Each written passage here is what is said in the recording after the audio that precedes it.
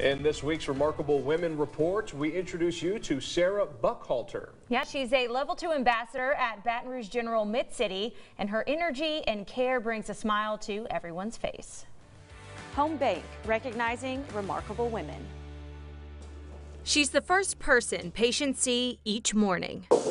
Nutrition and care, this is Sarah. Her days start bright and early. First in the morning, I get ready for breakfast, get everything prepared to go up on the fifth floor, 5 East. And often end pretty late. I know it's 12 hours. So you come in and you're ready for work. She's a level two ambassador at Baton Rouge General Mid City. She serves hot meals to dozens of patients every day. And everybody can do the job that I do. You have to have women. compassion and you have to be patient. She's known around the hospital as Miss Sarah. How you doing? Hey. Good to see you.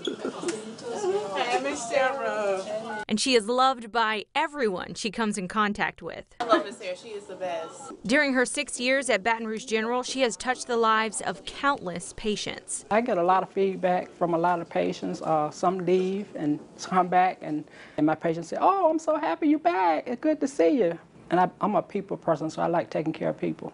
It's a skill she learned from personal experience. A, a daughter that was born with cerebral palsy and hydrocephalus, so I quit my job and I took care of her. So caring about someone, you know, being in and out of the hospitals, you got to know how, you know, to react to them and everything. She was taken uh, care of.